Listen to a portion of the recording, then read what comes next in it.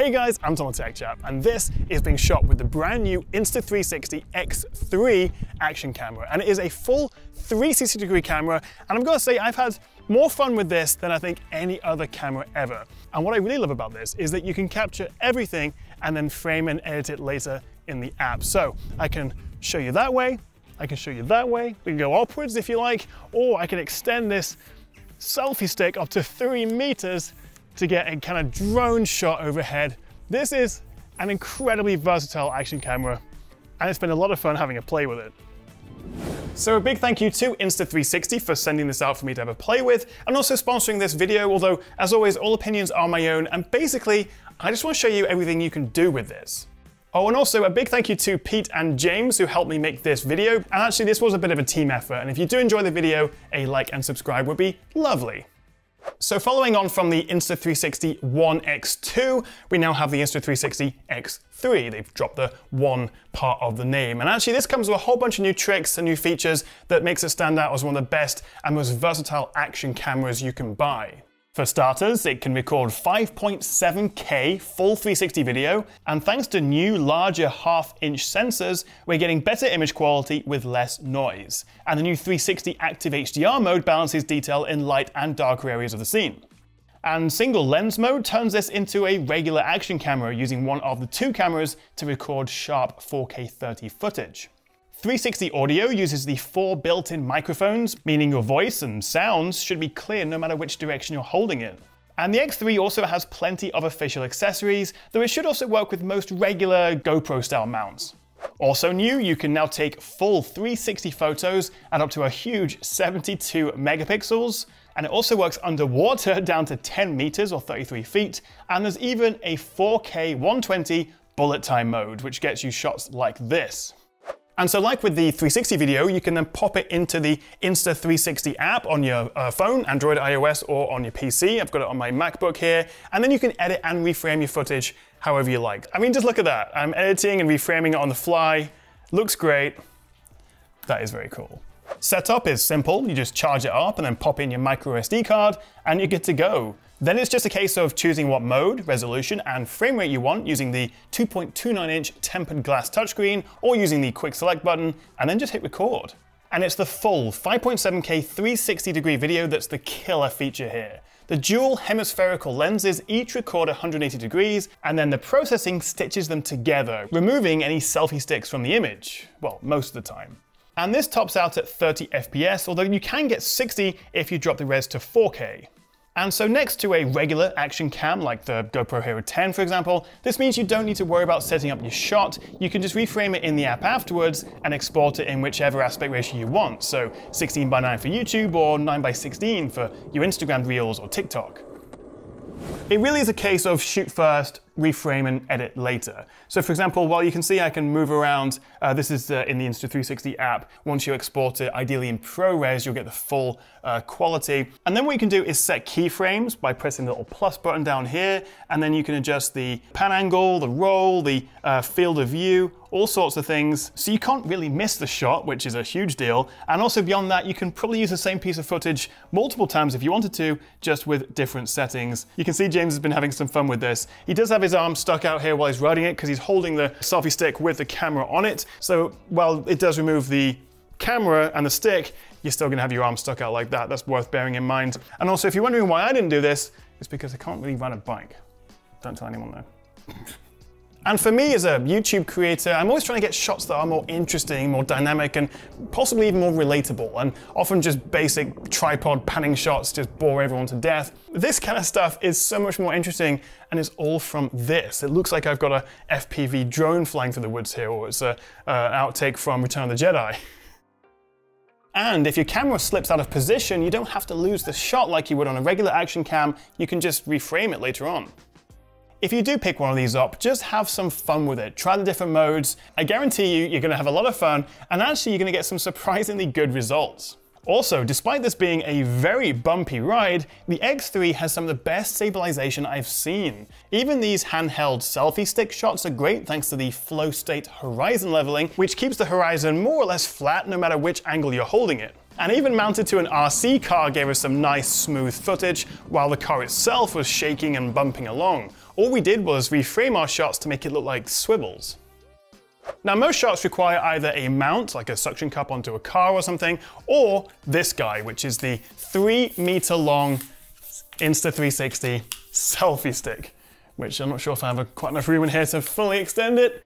Thou shalt not pass. It is huge and it shrinks down to just that. Although you do get a few looks if you walk around town with this fully extended over your head. Just be aware though of shadows as the processing can't remove these like it does with the selfie stick itself. If you hold it extended a meter or so behind you, then you can get a cool third person gaming style perspective, which makes for great time lapse or sped up footage. Or better yet, get yourself a beefy suction mount and stick it to your car for a seriously cool racing game look. I absolutely love this. Or even hold it way above your head and you can get some cool walk around laps shots like this one around the Glastonbury Tor. The 5.7K resolution is spread over the full 360, so the 4K single lens mode will offer slightly finer quality video, and also frame rate does top out at 30 FPS in the main 360 modes. But importantly, and like all action cams, ideally you want to shoot this in well-lit conditions. Lighting is everything. Also, not every shot suits the wide fisheye field of view, but you can easily flatten this out in the app to give a more natural appearance. Or you can just have a bit of fun with the crystal ball mode, or my favorite, Tiny Planet, which can have some unintentionally hilarious results. Now I will say that some images were a little softer than I'd like, and also the stitching between both hemispheres is usually good, although you do get an obvious seam when the crossover point is over more detailed areas like these paving slabs. But luckily the apps have a couple of extra intelligent stitching options which can help. Now one of the new modes, 360 Active HDR, attempts to draw out more detail from darker and brighter areas of the image, and it did work well in the woods, but in some conditions, especially with direct sunlight on one lens but not the other, it could vary its exposure a little too often, and so there's some obvious mismatch between lenses. As for single lens mode, you get a 180 degree image at 4K 30 with a 120 megabits per second bitrate from either camera. It's basically GoPro mode that films where you point it. And side by side with the GoPro Hero 10 with its higher single lens resolution, it's clear the 360 cam's FOV is wider by default, although you can adjust this later. Although bear in mind the new Hero 11 will be coming out soon as well. But if you want the best quality 360 image, then you'll want to use the new 72 megapixel photo mode. This is the highest resolution in any 360 camera and it captures a ton of detail and gives you as many options to reframe as the video does. Again though, ideally you'll want well-lit conditions. Okay, let's dig a little bit deeper with the many, many modes this has to offer. We took the camera to our local outdoor market and got a few funny looks from people as we captured them for a few minutes, and you can easily add or remove motion blur in the app. And while I can't show you the full 8K output in this 4K YouTube video, in either case, the detail is incredible. Then there's this, the Insta360 bullet time accessory. This literally just uh, screws into the bottom of the camera and you can then pull it out as far as you like. And then I would suggest pinching in here uh, at the end so it doesn't uh, retract in. And then you can basically throw the camera around you, uh, you know, above or to the side, and get yourself some cool bullet time effects. Just make sure you don't smash anything. You record at 4K 120 or 3K 180 and then slow it down to 30 for that slow-mo bullet time. I'm sure you could manage a cooler effect than me with this, and it's something I definitely want to play with more. Then there's nose mode, where you hold the camera up to your face or even in your mouth to get some weirdly ultra close-up shots. I couldn't get this to look anything but a bit unpleasant, but happily Insta360 sent me this video of a man demonstrating this better than I ever could. That is someone definitely living his best life. And this is being shot with me mode. That is Sylvie the cat. So I'm using this on the very short selfie stick just in front of me, uh, and it's kind of meant for vlogging, let me know what you make of the footage. This is me mode. Also, say you're using this as a dash cam or somewhere else where you need to capture footage after the event, Insta360 are planning a firmware update which will allow you to pre-record 15 or 30 seconds before you hit the record button. Now the camera is really only half the story. To get the shot you want, as I say, you'll need the AI-powered Insta360 mobile app or the studio editing app on your PC or your Mac. All are free, just connect your X3 via Bluetooth or USB. You can add extra camera positions and control the type of transition between them. You can change speeds with time shift or use the deep tracking function to have the AI dynamically track a subject you choose. And the Studio app has even more options that make it my preferred choice for editing. Also, ShotLab in the mobile Insta360 app offers a few fun options, like Sky Swap, which lets you, well, swap out the sky for something a bit more dynamic.